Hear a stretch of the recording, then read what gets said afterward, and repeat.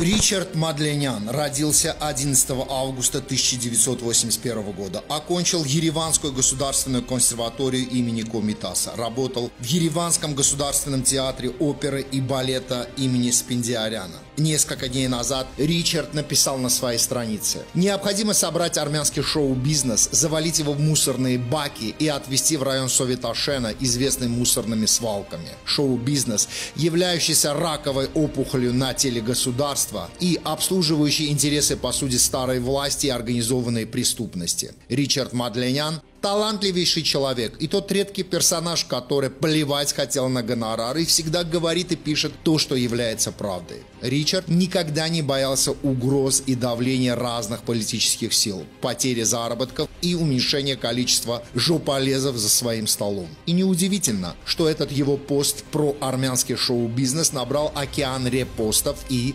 восторженных комментариев. Нет никаких сомнений, что Ричард Мадленян прав, когда называет армянский шоу-бизнес раковой опухолью, и это, конечно же, чистейшая правда. Армянский шоу-бизнес никогда не уважал армянскую государственность и никогда не стоял на страже государства. Первое. 95% налогов не выплачивается артистами и за последние 25 лет представьте, сколько денег украли певцы и певицы. Давайте не будем забывать, что с 1994 года армянский шоу-бизнес захвачен был карабахским кланом. Покойный композитор Артур Григорян перетащил под свое крыло немало артистов, которые служили Кочаряну, Сержу и идеалам организованной карабахской преступной группировки. Второе. Практически большая часть армянских певцов до 2018 года вела себя по правилам криминального мира. Любой, кто оскорбил бы звезду или обидел бы, мог получить нож в спину. И многие армянские певцы не брезговали просить наказывать обычных бедных людей вот таким образом. Третье. В 2018 году народ Армении свой выбор сделал, но посмотрите на наглость этих артистов, которые уже шестой год не уважают выбор народа и вздумали со своих соцсетей промывать мозги людям, возомнив себя экспертами. Против выбора активно выступают следующие артисты. Андре, арцахский певец. Разми Камян, арцахский певец, категорически против нынешней власти и плевать хотел на выбор армянского народа. Мэгер Армения, которому нравилось, что во времена Риточки Саркисян он мог взять бесплатно зал оперы и там давать сольные концерты. Мэгер мечтает, чтобы Рита воскресла и вернулась. Певица Сирюшо не невестка Кочаряна, которая защищает свекра и бизнес-империю мужа. Еще одна певица, которая плевать хотела на выбор народа, Сона Рубенян, чей папа работал при Кочаряне в СМБ и чья свекровь была главой мафии фигурного катания. Певица Шушам Петросян, певица, хотевшая стать второй Индирой Ганди, но была выкинута из парламента.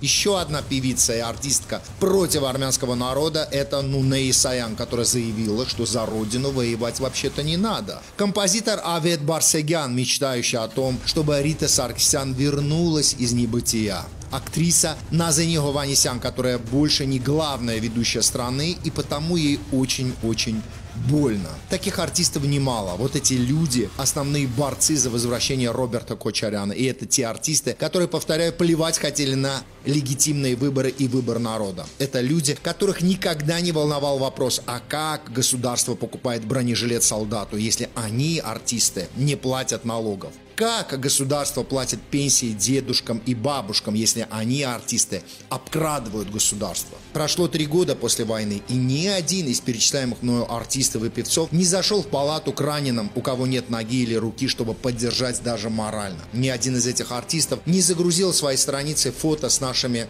защитниками. Эти певцы думают, что они родились только для того, чтобы на имени Армении, у армянских общин и людей армянской национальности деньги зарабатывать. Почти все пьют тосты про солдат, но плевать армянское общество хотело на певцов, которые не знают места этих солдат. Впрочем, не все артисты и певцы вызывают грусть, и есть очень много достойных людей в армянском шоу-бизнесе, которые ведут себя достойно. Один из таких певцов Арам MP3. Умный, патриотичный, талантливый и поистине народный чувак. Еще одна певица, которая всегда стояла возле солдат, Сильва Акопян, которая остается искренне народной и патриотичной. Потрясающая девушка Лиана, певица, которая еще с 90-х годов стоит возле солдат и дала сотни благотворительных концертов. Нет сомнений, что никогда не была безразличной к солдатам певица Сона Шахгельдян. Также я знаю о отдельных патриотичных поступках Иветы Мукучан, которая остается в любой ситуации человеком, который знает, что такое сострадание. Еще одна классная певица и классный человек Маша Манджоян. Сейчас не буду всех перечислять, и хочу просто отметить, что необходимо, чтобы артисты не только пели в песнях о своем патриотизме, а были и в реальности такими. Нельзя противоречить самим себе. Можно точно сказать, что певцы и артисты в большинстве своем жадные, скупые, крохоборники, и это удивляет, знаете. Тот же Размик Амян получает за час от 10 тысяч долларов, и почему ему жалко от этой суммы 20% отдать в виде налогов на помощь армянской армии? Все разговоры этих певцов о Армении и любви к ней всего лишь способ собирать деньги на свадьбах. Если кто-то думает, что после этого выпуска эти певцы побегут платить налоги, то вы сильно заблуждаетесь. Понятно? Правильно говорят Кармель Кова и Акашин Чипов. Автор выпуска Роман Багдсарян. Вы смотрели и слушали инфоплатформу в центре объектива.